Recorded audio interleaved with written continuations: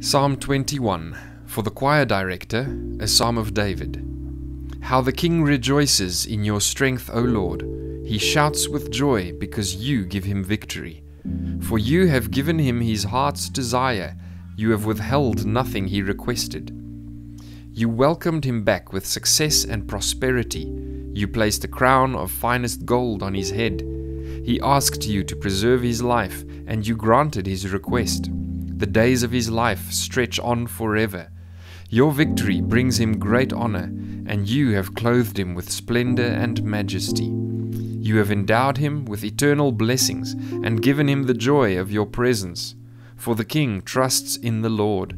The unfailing love of the Most High will keep him from stumbling. You will capture all your enemies. Your strong right hand will seize all who hate you. You will throw them in a flaming furnace when you appear. The Lord will consume them in his anger, fire will devour them. You will wipe their children from the face of the earth, they will never have descendants. Although they plot against you, their evil schemes will never succeed, for they will turn and run when they see your arrows aimed at them. Rise up, O Lord, in all your power. With music and singing we celebrate your mighty acts.